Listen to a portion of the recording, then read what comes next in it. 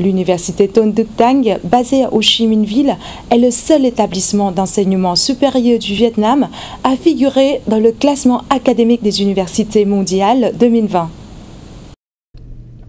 Cet établissement s'est placé dans le groupe de 701 à 800 du classement académique des universités mondiales, soit une nette progression par rapport à l'année dernière où il figurait dans le groupe 901 à 1000.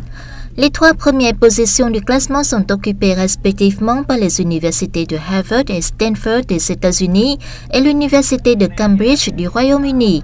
Le classement académique des universités mondiales est considéré comme l'un des classements universitaires les plus prestigieux au monde. Le classement établit la liste finale en analysant quatre facteurs que sont la qualité de l'enseignement, la qualité de l'institution, des publications d'articles dans des revues scientifiques et la taille de l'institution. Fondée en 1997, l'Université Tôn Đức Thắng fut un pionnier au Vietnam dans le processus d'autonomisation des établissements d'enseignement supérieur.